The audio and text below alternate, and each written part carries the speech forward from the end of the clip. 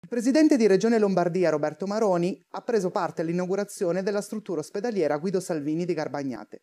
Ecco i dettagli nel servizio. Dopo tre anni di lavori è stato inaugurato nella mattinata di lunedì il nuovo ospedale Guido Salvini di Garbagnate Milanese. Presenti, oltre a sindaci del territorio e consiglieri regionali, l'assessore all'economia Massimo Garavaglia e il presidente della regione Lombardia Roberto Maroni. Quali sono i punti cardine del nuovo welfare in regione Lombardia?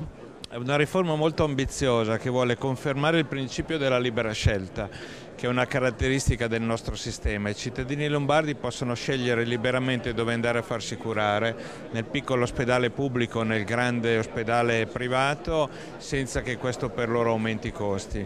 E secondo principio adeguare il sistema sociosanitario all'evoluzione della società lombarda. Fra vent'anni avremo tante persone anziane in più, tanti eh, malati cronici che avranno bisogno dell'ospedale ma soprattutto di essere assistiti fuori dall'ospedale. Quindi il nuovo, il nuovo ospedale che si chiamerà azienda sociosanitaria del territorio deve occuparsi anche del territorio. Questa integrazione tra l'eccellenza ospedaliera e il territorio è la caratteristica nuova della riforma che abbiamo fatto. Il nuovo complesso sorge vicino alla vecchia Salvini.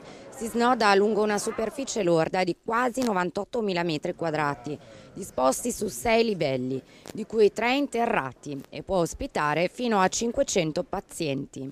Qui abbiamo uh, la metà di tutte le RSA che ci sono in Italia per esempio, proprio questo dimostra l'attenzione che abbiamo nei confronti dei, di chi ha bisogno di aiuto. Le nuovi ospedali come questo sono fondamentali e noi vogliamo continuare a investire in questa direzione.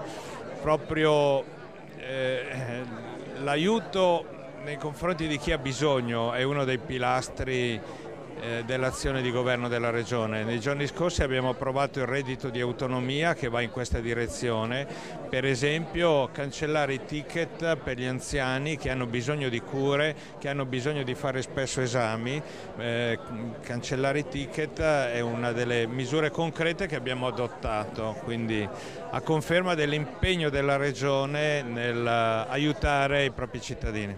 Grazie.